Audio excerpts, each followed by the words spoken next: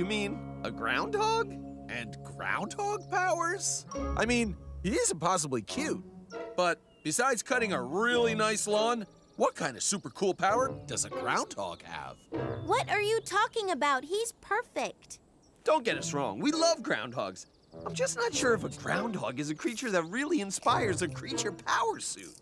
Well, I'm sure groundhogs have some hidden superpower that is so amazing. Don't you have an amazing superpower? Yes, you do. Yes, you do. Well, we could try. I mean, Aviva is really into groundhogs. Yeah, and who knows? Maybe, possibly, somehow, there's some cool ability to make a groundhog power suit.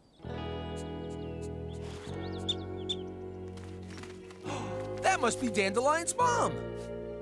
Okay, let's get creature adventuring. Weight, four kilograms. Body temperature, 37 degrees. Just like us. Heartbeat, 90 beats per minute. And she eats and eats and eats. Groundhogs eat so much grass each day, enough to fill up a sink. But I don't think that's a talent that makes for a good creature power suit.